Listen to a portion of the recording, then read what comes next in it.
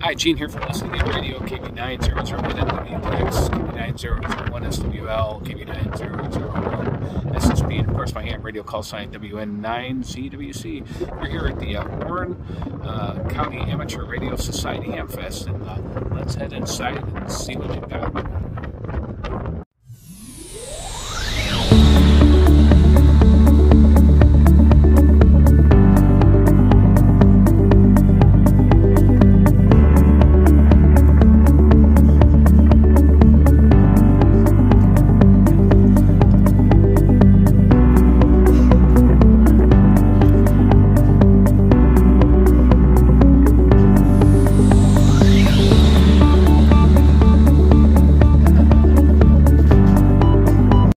Say hi, Jason. Hello.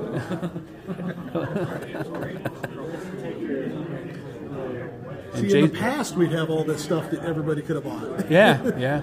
And Jason has the coolest stuff in the room. Oh, I like your displays, your rotating displays. Yeah, I picked those up thinking it might, well, especially a couple of them that, you know, they kind of wrap around pretty good. Oh yeah, yeah, looking good.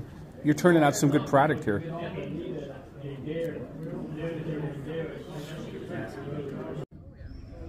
Okay, so I must have picked up the most unusual and unique item in uh, the entire room here at the Hamfest. I just got to show you this.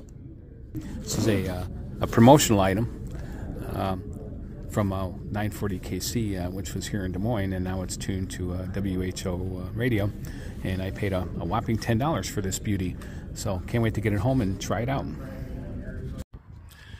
Now, one of the fun parts of going to a ham radio uh, or ham fest is always seeing the vehicles in the parking lot with the different antenna configurations. As you can see, they're like they're all over the place. Of course, if you look at my vehicle, I don't have as many antennas, but I do have antennas.